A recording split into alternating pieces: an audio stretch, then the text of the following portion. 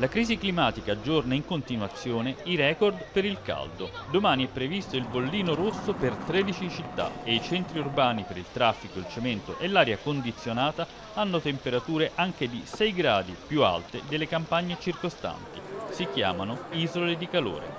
Nei prossimi giorni è previsto però un piccolo cambiamento. C'è un'indicazione che nella giornata di venerdì avremo un eh, breve eh, passaggio di, di una perturbazione, sarà molto veloce, che eh, porterà delle piogge ma farà anche diminuire un po' le temperature. Con queste condizioni è facile innescare incendi e in molte regioni sono in corso interventi per estinguere i fuochi, operazione che richiede tempo e fatica da parte di vigili del fuoco e volontari della protezione civile. In questi giorni le periferie di Roma sono state interessate da roghi anche di grandi dimensioni e in alcuni casi le fiamme si sono avvicinate così tanto alle abitazioni che è stato necessario evacuare i residenti. Il caldo è uno degli effetti delle nostre emissioni di gas clima alteranti come CO2 o metano e se le cose non cambiano, questa potrà essere ricordata come una delle estati più fresche dei prossimi anni.